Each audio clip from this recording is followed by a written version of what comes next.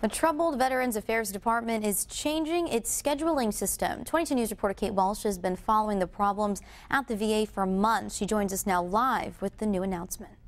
Well, an investigation into the VA began when it was discovered some medical centers were covering up their scheduling problems.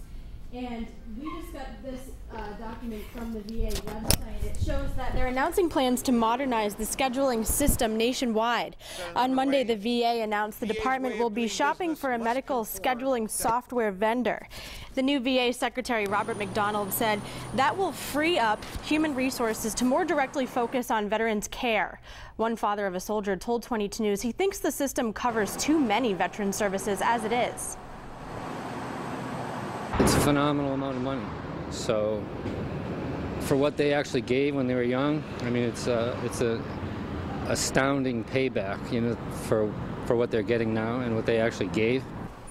Earlier this year, it was reported as many as 40 veterans died waiting so long for treatment through the VA system. But recently, the department said there's no proof those delays in care actually caused those deaths. Live in the studio, Kate Walsh, 22 News.